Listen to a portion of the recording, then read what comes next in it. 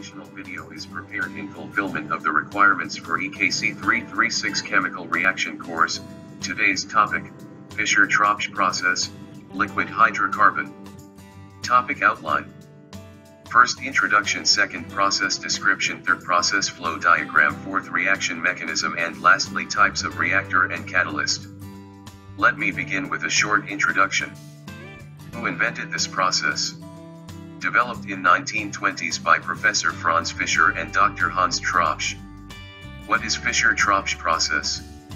A series of chemical reactions that involved catalytic conversion of hydrogen and carbon monoxide into liquid hydrocarbons such as naphthalene, LPG, and ethane. Let's continue with the process description of Fischer-Tropsch. Step 1 Gasification Step 2 Fischer-Tropsch reactor Step 3 Product upgrading how does the process is realized in industry? Let me show you the process flow diagram. This is the example of PFD applied in industries. Now you know the process. How about the FT mechanism?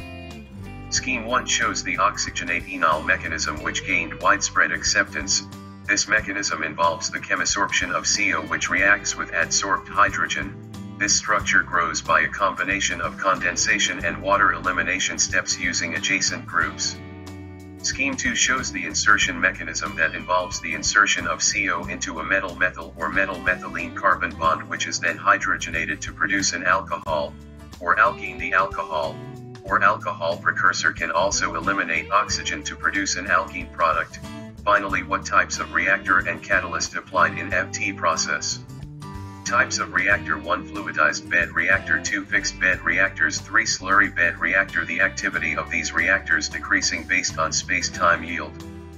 The types of catalyst increase from ferrum to ruthenium, in term of cost. List of references as follow. Thank you for your time, please like our video.